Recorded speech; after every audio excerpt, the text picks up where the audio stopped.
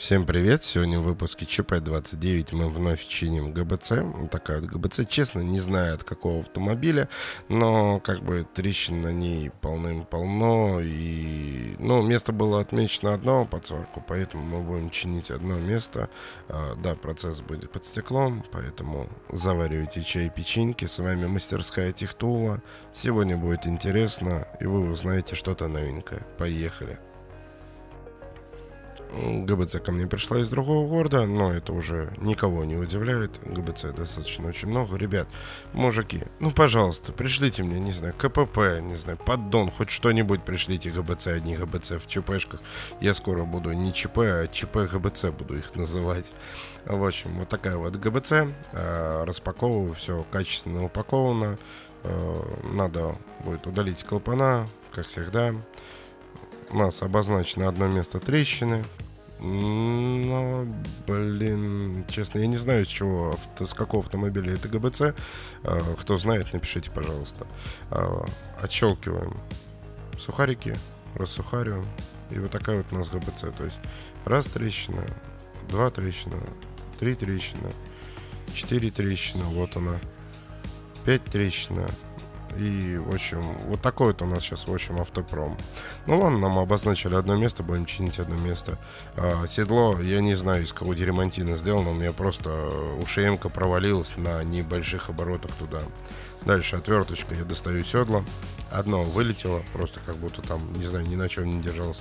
Второе все-таки чуть-чуть посопротивлялось. А, ну, пока что я достаю седло. Обязательно, ребят, напишите комментарий, поставьте лайк этому видео. Можете даже здесь поставить, без разницы. Можете поделиться, это стрелочка и ВКонтакте, не ВКонтакте, куда-нибудь. Любая активность поддерживает мой канал на плаву. И я стараюсь для вас. И спасибо вам большое, что вы смотрите видео. Вот. А я все-таки, да, я не нашел плоскую отвертку, вот фигурной отверткой выковыркиваю. И ковыряем, ковыряем, ковыряем. Седло у нас вышло. И вот два седла. Кто помнит, кстати, вот эту игру? Напиши в комментариях. Ну, было классно же, дед. Смотри, как встал. Смотри. Опа. И вторая тоже. Вот это, вот это страйк.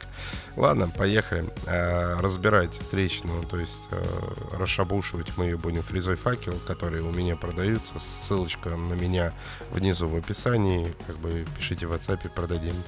Э, все в реальном времени. Как вы видите, металл очень приятный, проваливается. Просто вот сейчас я ускорил. Э, металл просто как сыр, просто проваливается. Вот вам и современный автопром. Другой фрезой подготавливаем поверхность под сварку, чтобы не снимать много. Околышовочку все подготавливаем.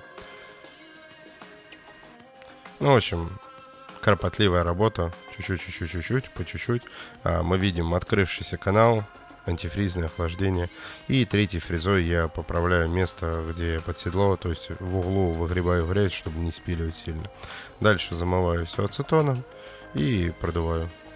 Я не стал записывать, как я вибромашиночкой прошел и убрал с поверхности грязь, но вот так у нас подготовка вышла.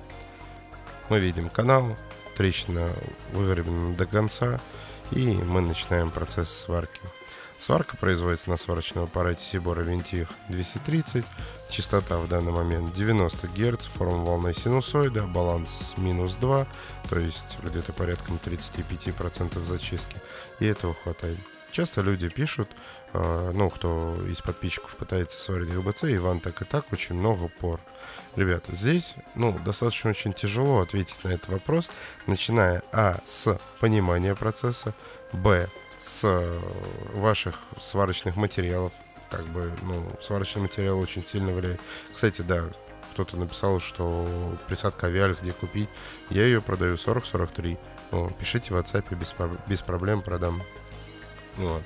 Дальше очень сильно зависит, ну не очень сильно, но, но я бы сказал зависит от сварочного аппарата. А, да, я сваривал раньше на Бриме за 30 тысяч рублей эти ГБЦ, а, и не, некоторые разы мне приходилось за 2-3 раза переделать ГБЦ, потому что были пористость. А, перейдя на брендовое оборудование, я получил ну, стопроцентный результат с первого раза. Соответственно, к этому времени под, под, подрос мой опыт, но все-таки я склоняюсь к тому, что стабильность горения дуги – это очень важный момент, потому что все-таки дешевые сварочные аппараты, когда посвариваешь чуть-чуть подольше на больших токах, то есть там 200, а иногда 200 не хватает, и вот эти вот 30 ампер очень сильно роляют, э, у тебя начинает падать стабильность. Падение стабильности, то есть когда дуга начинает чуть прыгать, прыгать скакать током, балансом или частотой, приводит к пористости.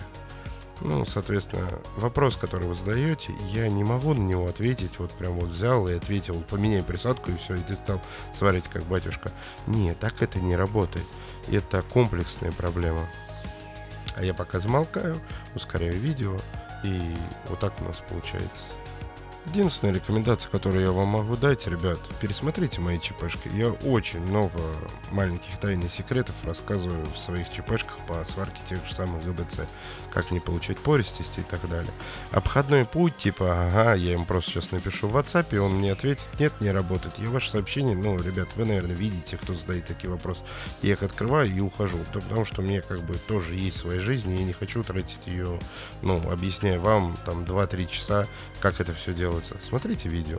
Я стараюсь для вас, я делаю видео для вас. Вот, на выходе у нас получается вот так вот. А, трещины не было, да, подогрев был, чтобы вопросов никто не, не задавал. И вот такой вот наш шов получился на выходе. Работа стоит 5000 рублей. Дальше ГБЦ пойдет на опрессовку, расточку и так далее. С вами мастерская Техтула.